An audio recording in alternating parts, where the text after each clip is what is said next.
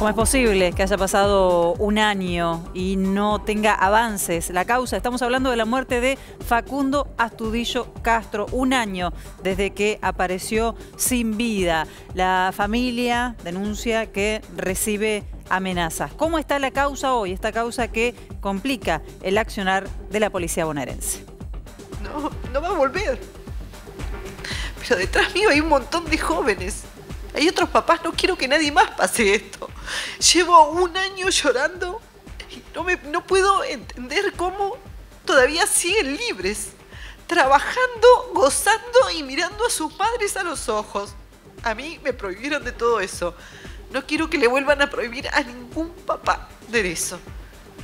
Nunca pensé que este año iba a ser tan duro y que íbamos a perder eh, tanto. Eh, pero con toda la, fuerza intacta. Yo cuando digo ellos tienen armas, ellos tienen plata, ellos sacan libros, nosotros tenemos la verdad como bandera y hacia esa verdad vamos y hacia esa justicia. Eh, la causa está plagada, plagada de pruebas y nos sigue doliendo que tengamos tres fiscales de la hostia trabajando a destajo, porque realmente es a destajo, eh, y teniendo que estar peleando pruebas todo el tiempo con una jueza en una Cámara Federal de Bahía Blanca. Realmente es detestable lo que ha hecho esta mujer en esta causa donde está recusada y denunciada. La jueza marrón. La jueza marrón. Al llegar a ese cangrejal, ya de por sí es durísimo para mí. Es ahí donde encontré a mi hijo. Y enterarme que cuando este hombre encontró a mi hijo, mi hijo tenía los brazos.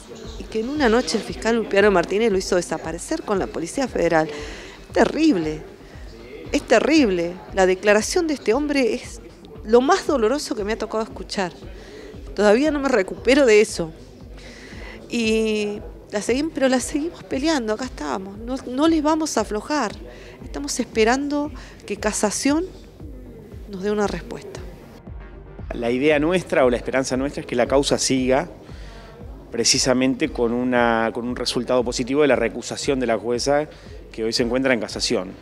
El, resultado o el objetivo de la recusación es un remedio procesal que la ley nacional de procedimiento penal le imprime cuando alguna circunstancia no asegura el conjunto de derechos y obligaciones en el marco de un proceso.